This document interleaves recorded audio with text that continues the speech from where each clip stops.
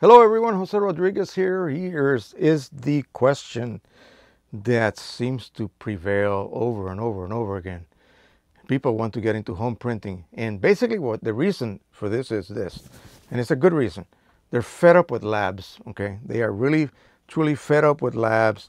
The wait time, the mailing back and forth, the misunderstanding about profiles that they might need, color spaces that might need you to send your image uh, tagged with, and so on. So people want to have that instant gratification. So they look at a printer like the Pro 100, you can get super cheap here in the United States, or something higher end, and then they get it at home. So they, they're gonna spend possibly, say for instance, for a Pro 100 retail, I think it's a thousand bucks, maybe more. Um, Pro 1 from Canon, that's $1,200.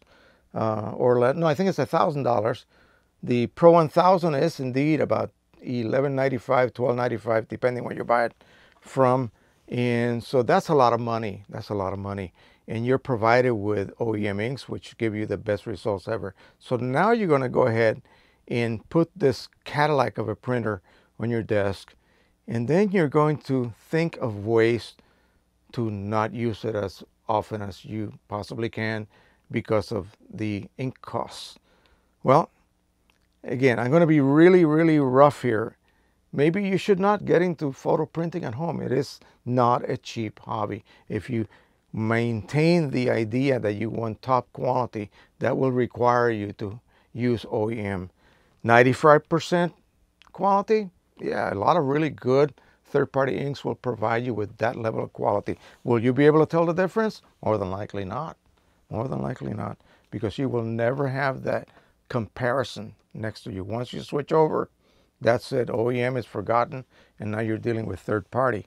And unless I show you a back-to-back -back comparison between two prints, one done with OEM and one done with even profile third-party inks, you will see a slight difference. Maybe, maybe not. It depends on your eyes and how good the person printing is.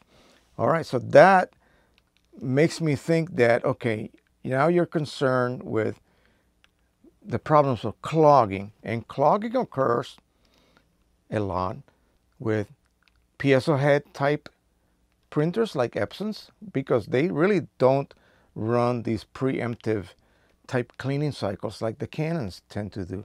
So the Canon has the reputation of being the clog-free printer.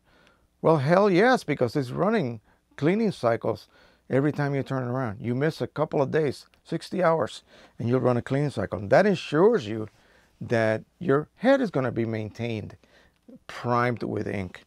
And that's that's that's the most important thing the head being primed with ink. A lot of clogs are not really clogs. They're just air pockets inside your little individual components that lead to each one of those nozzles. And what canons do is that they actually want to keep those little compartments primed. And so that's why they'll run a preemptive cleaning cycle every 60 hours. And again and every 120 every 240 and so on. And uh, they they can get quite big. And a lot of ink is wasted but your print head is kept flowing. And so it gives you the impression that canons are clog free and don't get me wrong I adore my canons I adore both my Epsons and canons they're a little bit peculiar in the way that they treat this Epsons will not run preemptive cycles except for some distinct models. I think my old R2400 used to run one. The R2000 tends to do that, but it's got to be weeks before it'll even do that for you. So weeks is just too long, okay? Whereas the Canons is on top of things. You wait two and a half days, it will run a clean cycle, period. On an Epson, I can go two and a half days on my P800 a week, two weeks, and nothing happens. Well, that means that it could possibly clog. Okay. Now think about this. Imagine you have an Epson and after every two and a half days of non-printing, you preemptively run a cleaning cycle. You would never do that. Of course not. The Canons will do that. And that's why they stay so clean and clog free. And again, I'm not criticizing either printer. I'm just stating the fact that it's not because the Canon is just better designed. Yes, the heads are totally different and they have different different operational characteristics. But the reason that they stay clean is because they are kept primed and you don't use them for like I said 60 hours they will be reprimed not a lot of ink is wasted but still is some ink being wasted that could better be used to create beautiful prints and so that is it please folks don't get into printing okay stay away from home printing if you're not willing to commit to the cost of home printing and maintaining a printer it's like having a finicky, expensive automobile. You got to constantly tune it. You got to constantly, you know, pamper it, and you better start it every day. You know, no, not that bad. But you get what I mean. You know, you simply cannot let it sit there for a month, two months, three months, because you travel a lot. Well, if you travel a lot, don't get a printer.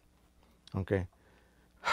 I know that's rough, but that's the fact. If you travel a lot, don't get a puppy you're going to have to send it to the kennel and the kennel costs money. Well, the printer will cost money. I can come up with a thousand analogies of why you should not get a home photo printer. But again, if you want to go ahead and take that plunge, then you better be ready for commitment to that printer. And it takes printing. That's all you have to do. With the, I think the Pro 1 is wonderful. You just print, print, print, print every day if you want to and no preemptive cycles take place. Anything, even a postage stamp size print.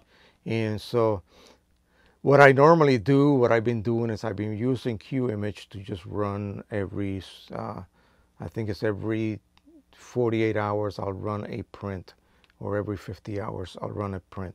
And it's just a silly little um, nozzle, not the nozzle check, but the nozzle, clog nozzle function that they have.